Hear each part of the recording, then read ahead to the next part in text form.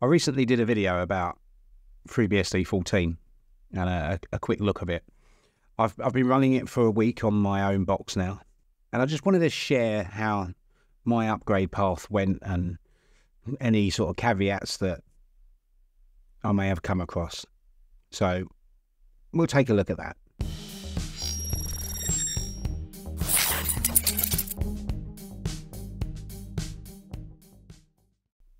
So first things first, it's now the the holiday season. So if you celebrate it, Merry Christmas, Happy Holidays to anybody else. So Star Wars Christmas T-shirt has come out. There must have been trouble. So, FreeBSD 14, from what I can see, it seems to have quite a few performance enhancements, which is great. And to be honest, most of those won't really come into play for my workload, which is okay. Uh, Primarily, my FreeBSD box is a mail server.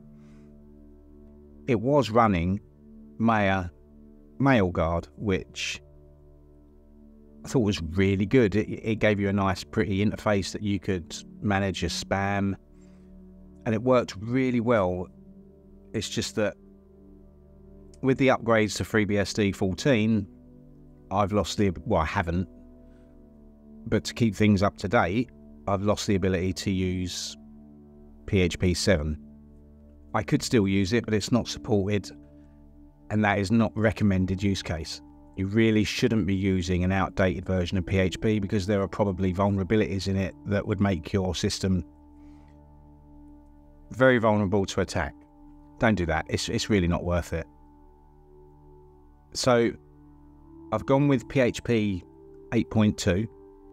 Everything else has been updated. I've had to change from Maia Mailguard to Amavisti New, which was a little bit of a fiddle. It got the job done, and my virus and, and spam scanning on my email server is now back up and running. So that's good. That took about three hours worth of configuration. With that, I upgraded my MySQL server. I was still running 5.7, which has been out of support for quite a while. So it's now running MySQL 8.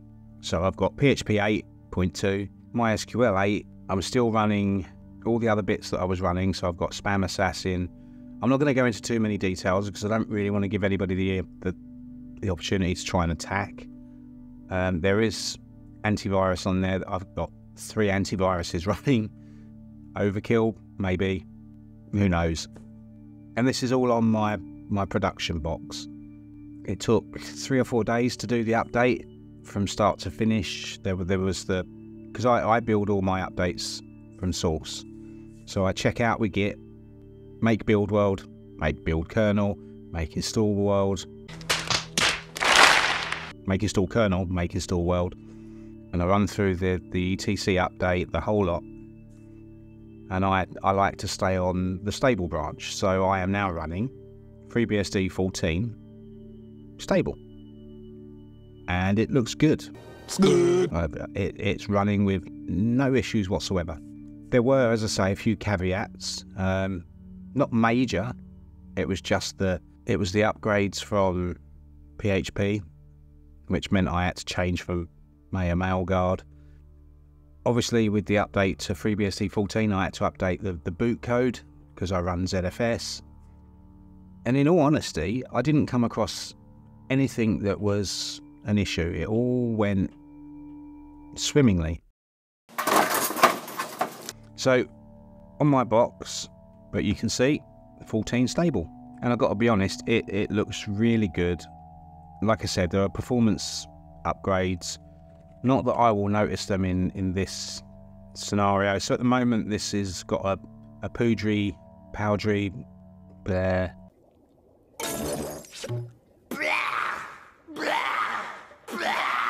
However you want to say it, instance running, so it's building some ports for me, some packages, and uh, yeah, it's running really well, running really well. It did fall over at first when I first installed amavisd-new, and got that going. It, there was a database issue, but that's now resolved, I believe. And uh, there is there is my my Poudre building away, it's building my SQL server. No failures. So I'm I'm pretty happy with this overall. In fact, I'm very happy. The upgrade went pretty much how you would expect it. Did the update to the packages, uninstalled pretty much everything and reinstalled it all. It didn't reinstall everything, so I had to make sure I had a list. So it's always a good idea to just do a backup of what packages you've got installed, output that to a text file so you can always reinstall them. Now, I have found that there are a few things that can't be installed with certain other things. For instance, um, I'm running Roundcube as my webmail. It's not my webmail of choice. I just haven't got around to reinstalling the one that I prefer. Um, and there's a Roundcube SA Prefs, but that doesn't work with PHP 8.2 so I couldn't use that. My plan is to go back to using um, Horde and Imp.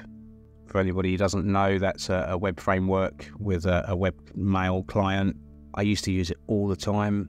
I stopped using it for a little while because for some reason something went a bit strange with it. Anyway, I will get back to doing that and I'll probably do a video on, on setting that up. It's been a while since, since I even looked at it. In fact, I'm going to have a quick look at it now and see what have they changed the installer? Maybe they've changed the installer to PEAR and, and it's all PEAR. Anyway, so my my plan is to go back to it. Yeah, it's all installed with with PEAR. I may actually try and download the latest from Git or wherever it comes from these days. This repository is deprecated. Well, that's interesting. Hmm. I'll have to look into that a bit more. Anyway, that's something to look at for another day, I think. Um, so, anyway, my, my point is that my upgrade path on FreeBSD has, has gone really well. As I say, there were a few little hiccups, nothing that wasn't particularly hard to sort out. And most of that was my own fault, if I'm honest with you. Can't stress enough. Back up. Have a plan. You got those two, you'll be absolutely fine. It will go fine. If you don't have those two, you're going to struggle. So, back up, plan. Backup plan. There's not really much more I can say about it as long as you got your backups, go for it. Just make sure you do it in the correct order. And I'll, I'll probably do a video on, on the right orders.